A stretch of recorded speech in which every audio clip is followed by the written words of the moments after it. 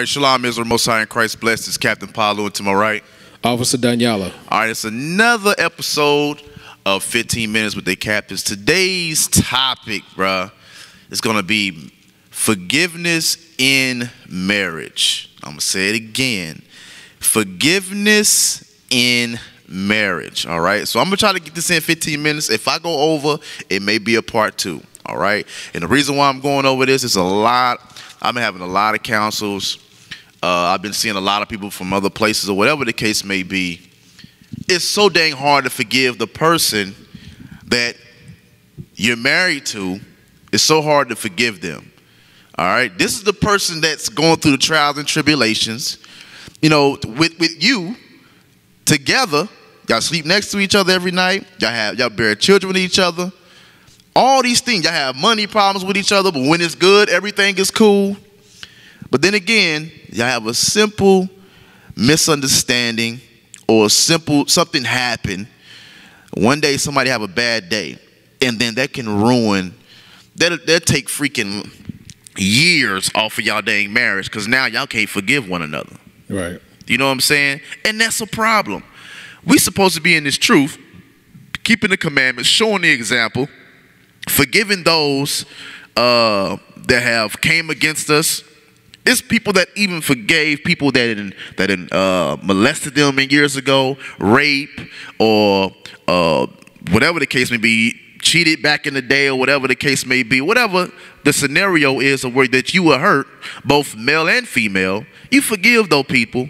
But then again, when it's the person that you're sleeping next to, going through trials and tribulations, the person you want to spend the rest of your life with, you can't forgive them. Right. That is a problem. Right. All right? And that's the reason why we have a lot of issues in our community because we can't get right with each other. Society have told us that listen, the black man and the black woman should not be together.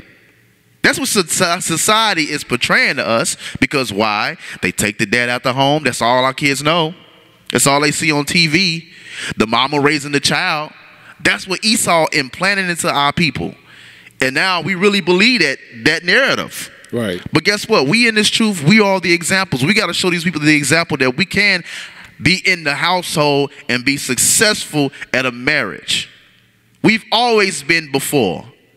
So we got to take that back. So we got to start understanding each other, all right? Being there for our spouse. Remember, we're one flesh. What happens to you happens to your wife. Right. What's yours is your wife's. Vice versa, or whatever the case may be. All right. So we're gonna get get into something. It's gonna be a little different. I ain't gonna go through all the marriage scriptures. I'm not doing that. All right. But give me uh First Peter's, I mean First Timothy's chapter three. First Peter's chapter three. All right. Some of y'all gonna be mad at me, but I don't care. I have I don't care at all. But it needs to be said. Some of y'all got to get y'all minds right. Y'all got to learn how to sit down and communicate with your spouse, man, and get the thing sorted out. Quit playing game. Quit being a dang baby. Quit being a kid. Grow up. Grow the heck up, man up in your relationship and get it right. All right? You got it? Uh, verse 4. Uh, start at verse 2. Verse 2. First Timothy, First Timothy, verse chapter, one. Matter of fact, chapter three, verse one. Uh huh. This is a true saying: If a man desire the office of a bishop, he desire a good work. So if a man desire the office of a bishop, he desire a great work. All of us in here want to be prophets of the Most High God. At least we portray to be, right? We want to be leaders in the community. We want to uh, compel our brothers and sisters in to come into the truth to keep God's commandments. We're desiring that position, all right? But it comes with certain stipulations with that, certain responsibilities that we must uphold and keep. All right, come on.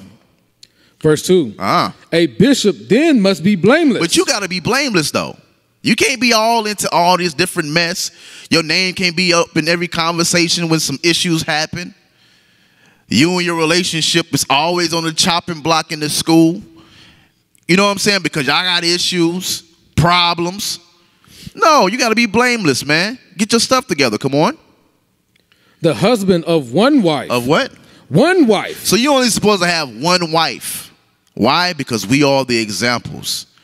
We supposed to have one wife, all right? Not this multiple wives stuff. Hey, some of some of some of y'all can't even take care of one wife. How you want to take care of multiple wives? Right.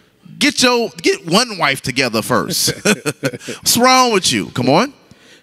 Vigilant, Uh-huh. sober, Uh-huh. of good behavior, Uh-huh. given to hospitality, Okay. apt to teach, Come on. not given to wine, Not given to wine. Come on. nor a striker, Not a striker. Come on. not greedy of filthy lucre, Uh huh. but patient, But what? but patient. You got to be a patient brother. You got to be patient when you desire this because you're going to be put in situations to where your character is need to be up to, upheld. Where you're going to be in situations where you got to have patience. All right? You got to have patience to learn how to deal with the matter. You got to have patience with people. Some people is a little slow learners. Some people are going to come around to it, and some people just get it just like that. So you got to be wise enough to have patience in different situations. Come on. not a brawler, Not a brawler. Come on. not covetous, Uh-huh. not covetousness, Here's the part I want. Come on. One that ruleth with his own house, He rules his own house. He put he set down the rules. He put his foot down. You are the vanguard of your household. It ain't your wife, it's you. You set the rules there. All right? Come on. You set the tone. When you come into your household, if you got a snobby or you mean spirited, that whole household gonna be like that. You come in every day with a dang mean spirit, hateful spirit. It's because at work something happened, but then again you come home and you put all that stuff on your wife. You mad at the kids. That ain't the spirit to have. All right? Come on. having his children in subjection with all gravity. Having his children in subjection to all gravity, meaning you you got everything in check in your household. All right? Especially the children as well. They're doing what they're supposed to do. They ain't up up uh looking at freaking YouTube watching twerk videos on the tablet. They know better. These kids know better. Right. They know not to look at YouTube. They know not to do this crazy stuff. You got to put that fear in them. All right? Come on. For if a man not, uh, know not how to rule his own house, Now, if you don't know how to rule the house that you live in and set the rules in, come on. How shall he take care of the church of God? How the hell are you gonna be able to tell other people that? How you gonna how you gonna um lead other people when you can't even lead your own household? You can't even get your whole household in check. Oh, the brother's strong when it comes to the school, but when he at the house, he a little baby. He don't know he he gets mad at everything. He don't know how to deal. He don't know how to deal with his wife with according to knowledge.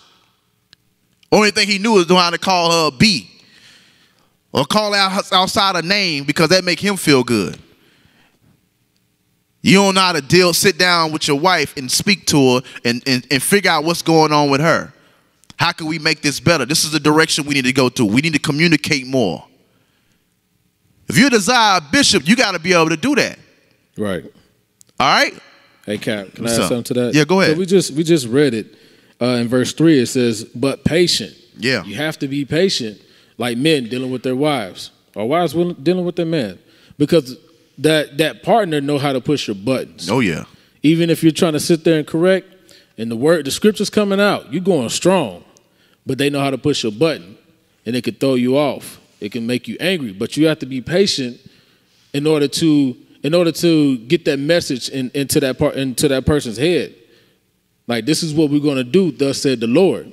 And then when it said, um, if you don't know how to rule your house, like Cap said, if you're getting frantic or you're throwing a tantrum because that person is not listening to you now, you you can't you can't be you can't be like that. Still trying to teach out in the streets. You're good teaching on the streets, but you can't teach at home. Right. You get you can put all the scriptures to somebody that ain't in the truth. But when it come to your wife, you don't pull nothing Right. to build your wife up and to use them scriptures. Brother, you ain't keeping the commandments. You ain't doing this. You ain't doing this. But then again, you ain't on your wife. You ain't building your wife up. You ain't using the scripture when it comes to building your relationship up, your marriage. That's a problem. Give me um give me Ephesians, Ephesians chapter 5. Ephesians 5, I'm going to start at verse 31. Let me get it right quick. You got it? Yes, sir. Go ahead and start reading. This is the book of Ephesians, chapter 5, verse 31. Uh-huh. For this cause shall a man leave his father and mother, Uh-huh. and shall be joined unto his wife. Come on. And so they- he's supposed to leave his father and mother. So this is when you come into marriage, all right? When you choose to get married. A lot of people in this truth, they do what? They either come in married or they come into the body single and they end up getting married. All right? Nine times out of ten, the people that come in that's married, that been together for years, they don't have a lot of problems. I've been noticing they don't have a lot of problems. Here and there, yeah people that been together seven to ten years plus, they don't have that many problems. Maybe here and there. It be you new ones. it be y'all that come in, the super duper Israelite brother and sister, and y'all get married, and then three months out, y'all don't even want to be with each other no more. Y'all didn't listen to none of the proven stage counsel. Y'all don't want to get counsel. You got married. You got or you got counseled all the way up until you got married, Right. and then after that, you don't want to hear nobody else's mouth. Right. You got it all. You got it all figured out. It be those that be having all these problems. Fresh in, less than a year, and you talking about, oh, I want to separate. I don't like him. You kidding me? Are you kidding me? It's been people that came into this truth by themselves and their spouse didn't believe for a year or two sometimes more. But guess what? They end up winning that spouse over into the truth Right. because they showed what? Patience. They actually used the scriptures and applied it. The spouse actually seen the change in their husband or in the wife. They seen the actual change in them, that the scripture was changing them, converting their soul. But you newbies, y'all got y'all think y'all got it figured out. And you wonder why y'all have a lot of problems in this truth and with your marriage. You don't want to apply nothing to your marriage. When things get a little hard, you don't know what to do about it. You don't seek counsel, or when you do, you don't want to listen to it. You know better. But we're going to get into that. Come on. Read on. And shall be joined unto his wife, Uh-huh. and they two shall be one flesh. Because y'all now are one flesh. That is you. Y'all one flesh combined. Y'all in this together. Ain't no you, you and I that split up or whatever. Y'all one flesh. Right. Y'all one flesh. All right? That's why the scripture said a wicked, a wicked woman is given to the portion of a wicked man. Y'all one flesh. We wonder why y'all got a lot of problems. Because both of that, both of y'all wicked as hell. And y'all want to point the finger at the other one. He got the problem. He got the problem. But then again, behind the scenes, you the devil. You the devil. You the demon. Right. You know what I'm saying? But then again, when you out there, when you're telling when you telling us this, this is what's going on in your household, you doing all this evil. You don't want to you don't want to put out the stuff that you're going through. You don't want to put out the stuff that you that you say and do wrong. You dealing deceitful too. So it ain't just it ain't just him or it ain't just her. It's you too. It's both of y'all. Both of y'all got issues. Come on. Verse 32. Uh-huh. This is a great mystery, but I speak concerning Christ and the church. Uh-huh. It says it's a great mystery, all right? Great mystery. Meaning what? You're gonna go through trials and tribulations with your spouse. Y'all gonna go through things. Listen, if it was if it was one or two scriptures that can end all marriage strife, bruh, you think all of us would have used it by now Right. right? Shoot, to let me know what those scriptures is. If you got it all figured out in marriage, Right. let me know. Let me know if you don't need no counsel on what's going on and this and that. Let me know if you got it all figured out. Please sit down and counsel me. But guess what? You don't have it figured out because you're gonna go through things.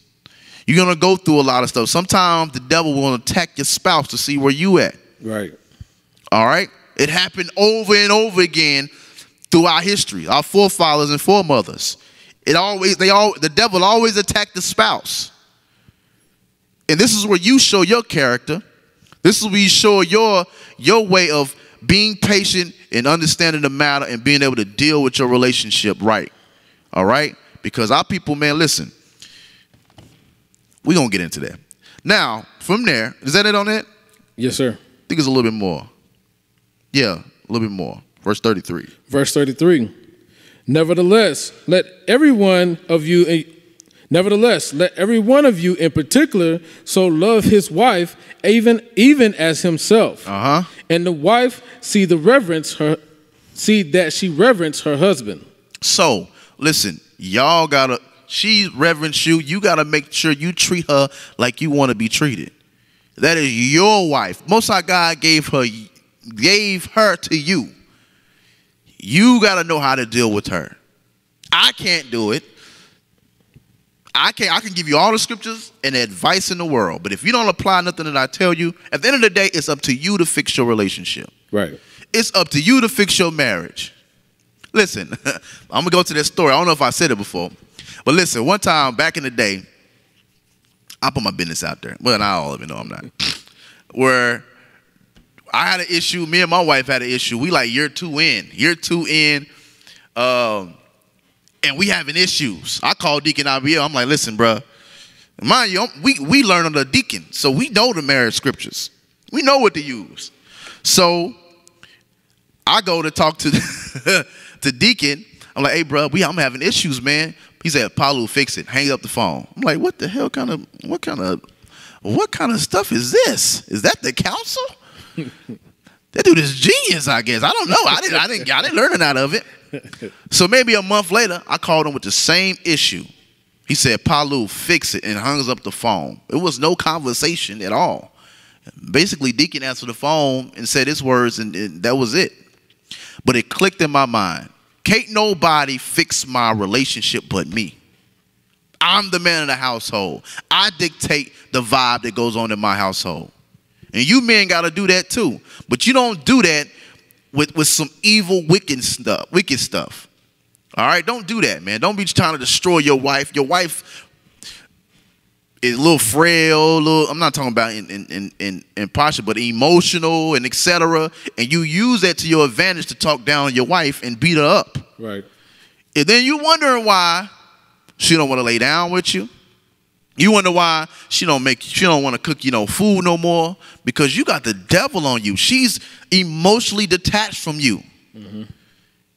because of how you act. You gotta fix that. I can't do it. Don't call Captain Palu. Hey man, can you, I mean I need I need no. You fix it. You know what to do. You fix it. Oh, we've been over this before. Right. Come on. Is that it? Give yes. me uh, give me First Peter's three. Give me First Peter's chapter three. And this what's be happening, man. This will be happening. Give me First Peter three. We're gonna get into the forgiveness part. Like I said, we probably won't get to. Probably be a part two. You got it? Yes, sir. Come on. Verse one. Uh, verse seven. Verse seven. Uh-huh. Uh First Peter chapter three, verse seven. Come on. Likewise, ye husbands, dwell with them according to knowledge. You gotta dwell with your wife according to knowledge. You should know your wife by now. You should know how to deal with your wife. You should know how to use the, the scriptures to build up your wife. You should know how to use the scriptures to correct your wife. You got to deal with your wife according to knowledge. All right, come on. Giving honor unto the wife. Uh huh. You got to give honor to the wife. A lot of times we don't do that as men. We don't give any honor to our wife. We don't. We don't tell them great job. Thank you for doing this. You know what I'm saying? It really ain't some of some of us, most of us, most men, it really ain't really in our nature to be like that. But listen, it don't matter. We got to do it. All right, we got to show appreciation to our to our spouse. All right, come on. Giving honor unto the wife uh-huh. as unto as unto the weaker vessel. Uh huh. She is the weaker vessel. Something she can't handle. Something she can't handle on her own. You got to be the backbone to make sure that everything is done correctly. Come on and as being heirs together uh-huh. of the grace of life. Come on. That your prayers be not hindered. That our prayers be not hindered. But come on. Finally, uh-huh. be ye all of one mind, having compassion one, one of another. We supposed to have compassion one for another. All right, that's why she your spouse. Remember when you first met, everything was all good. Right. Y'all was cool, kicking it. Why years later it can't be like that? Because y'all got comfortable with each other. Y'all stopped dating each other. Y'all don't even go out to eat. Y'all don't go hang out. Y'all don't communicate. You just go to work, come home, wear my food, and that's it. You got to communicate with your wife. All right? Come on. Love as brethren. Love as brethren. Come on. Be pitiful. Uh huh. Be courteous. Uh huh. Not rendering evil for evil. Now that one right there, not rendering evil for evil. And that's what happened into these marriages, bruh. One person do something, you get irritated, oh, I'm gonna say something, I'm gonna say something too. And then now y'all back and forth. Now y'all hate each other. Now it's a grudge. Now it's a grudge. Now you like, all right, yeah, we had an argument yesterday. I called outside a name, but I'm like, you know what's, what I'm saying? What's what's good? What we doing tonight? She's like, nigga, I, I we ain't doing. I'm going to sleep tonight. Right. That's what I'm doing. Right. And you wondering, you just called all outside a name.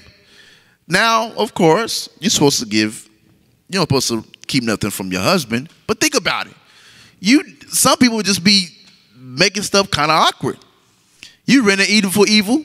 Y'all going back and forth, and then sometimes it be the wife. They be pushing the buttons, and then you do the same thing, and now y'all back and forth. Now for a week it's quiet. Y'all ain't even speaking to each other, and y'all stay in the same bed, stay in the same house. Y'all don't even speak to each other for a week or two. Hey, Cap, it, it gets me when somebody says, when you say, um, I wish I never married you, Oh. or I don't want to be with you. Oh. You say those things. You go to that point to do a low blow, but then the next minute you ready to sno- uh, cuddle up. Yeah, what's up, baby? You okay? What's, what's How can you on? do that? That You evil. I'm gonna put it real. You evil. You evil as hell. Put it straight up. You evil for doing that. All right. You gotta learn how to deal with each other. Some of you sisters be doing that too. Y'all be pressing them low balls too. All right. Don't do that. Come on. not rendering evil for evil, Uh huh. or railing for railing. Railing for railing, the same thing. Y'all, be- y'all be going back and forth and back and forth and back and forth and back and forth to where y'all don't like each other no more. Now your marriage is in jeopardy. Y'all don't want to be with each other. Or one of y'all want to fix the marriage and the other one is too fed up now. Right. You're like, nah, I don't really want to be with him. I don't want to be with her right now. Now the devil is in y'all relationship. The devil is in there and and got y'all questioning your own marriage. Y'all bear children with each other. There's no infidelity. So what the hell y'all gonna do? Y'all you're in, y'all talking about separating. Come on. Really? The hell is wrong with you? Y'all ain't been through nothing yet. Right. People that been through way worse and they figured it out. Right. You got to do the same thing and stop trying to give up. Because when you do give up, guess what happens? You end up falling out the truth. That's what's going to end up happening, and that's what the devil want. Come on. But contrariwise, Uh-huh. blessings, knowing that ye are, are, are thereunto called, that ye should inherit a blessing.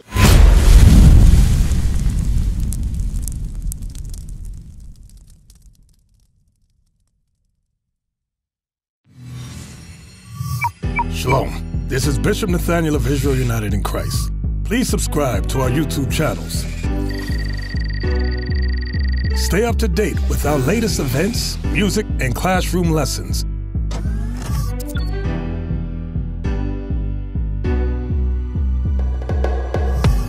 IUIC plans to continue visiting different countries where this gospel has not been preached before. IUIC needs your help in pushing this truth.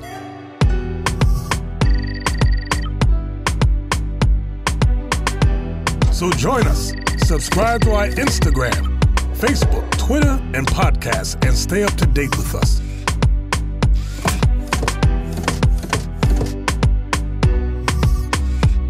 For more information, please visit www.israelunite.org.